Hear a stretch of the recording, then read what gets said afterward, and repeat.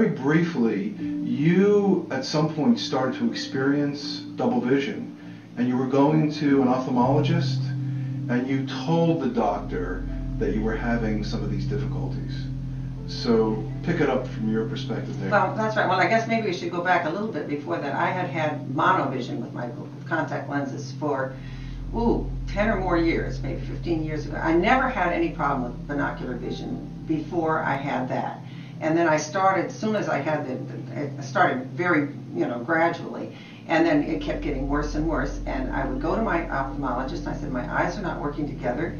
And um, the one I was going to at the time just said, oh, or something like that, and then gave me no help whatsoever about it. So then I decided to go to another ophthalmologist. I, and I went to one that was highly recommended.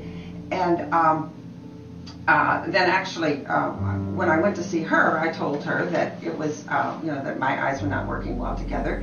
And she didn't give me any, she didn't comment on it or give me any help at all on it.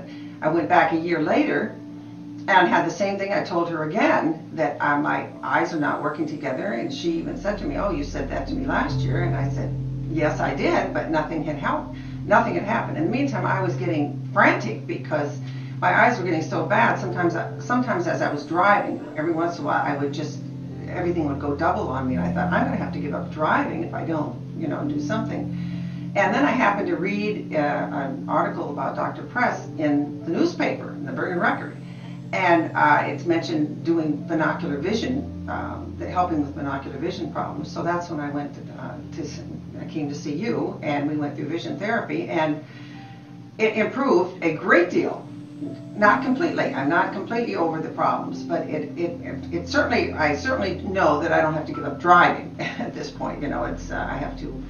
Um, so you, you and I agreed that you've come a long way right. to sort of get over that hump or hurdle, uh, we wanted to find out could eye muscle surgery benefit you further uh, and, and, stabilize things. So uh, you in fact had a consult with a surgeon. Yes. And what did the surgeon mention to you? Well, he mentioned that uh, that I may, or he that he who could do surgery on me, and he can't guarantee that it's going to uh, be completely successful That it's going to do it. He said it might have something to do, my problem might have something to do with the shape of my eye in the socket, which, for which there is no help. But he did think that um, there was something to do with the muscles, that he could do something, and it very, very likely it could be, it could be greatly improved. And he said it might not stay, but it, but it could be, it could be um, a big help. So, uh, to wrap up the uh, the concept from a patient's point of view. Uh, if you're looking at our field in general as ophthalmology, optometry, surgical interventions, non-surgical, non-surgical interventions, what would be a logical way for you in your mind to say, now that I've been through this, the way the field should operate is, I went to an ophthalmologist, I don't know any better as a patient, what would you, if you could have your way, say, this is what I should have been told at the outset? Well, I should, some, the ophthalmologist could, could have said to me, there are people who do vision therapy which might be able to help you. But I never heard that from either the ophthalmologists that I went to. They gave me no indication of that at all.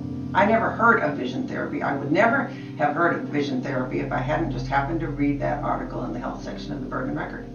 So in the future, uh, in the best of all worlds, patients like yourself won't find doctors like me by accident. That's right. That's right. Absolutely. Thank you very much. You're welcome.